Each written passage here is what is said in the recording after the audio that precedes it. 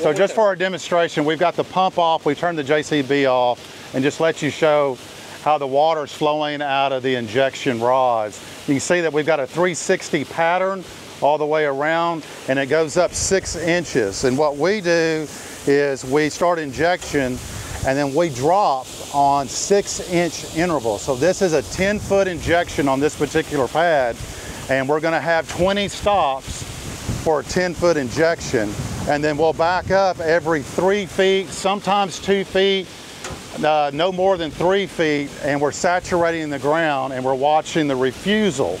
So he's on, he's already done one water pass, and that's over here.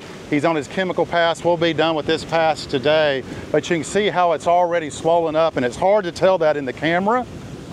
But from a visual standpoint, if you're out here looking at it, you can see where the ground has swollen up and that soil stabilizer is starting to activate and it's changing the polarity of the clay. Now it'll settle down just a little bit, maybe about a quarter of an inch when it's done and the finished product will be a 1% uh, PVR, which is potential vertical rise or potential vertical movement.